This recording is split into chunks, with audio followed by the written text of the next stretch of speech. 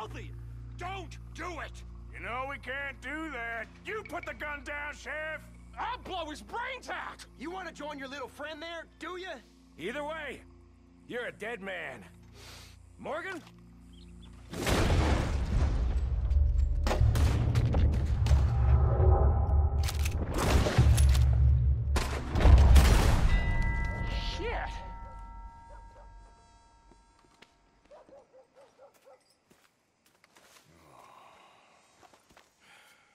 He was a good kid. Well, how the hell was I to know? Let me see.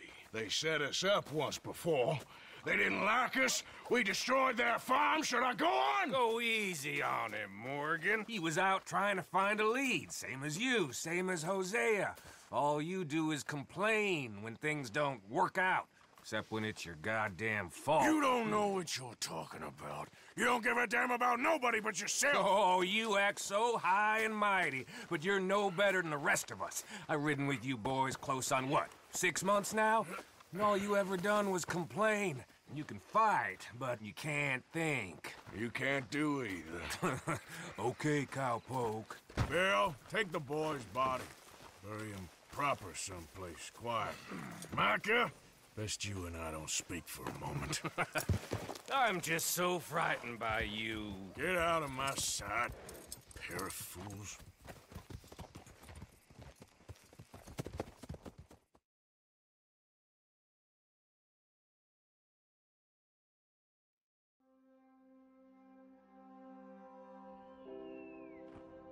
He was like an annoying little brother to me. What fun we had riding together.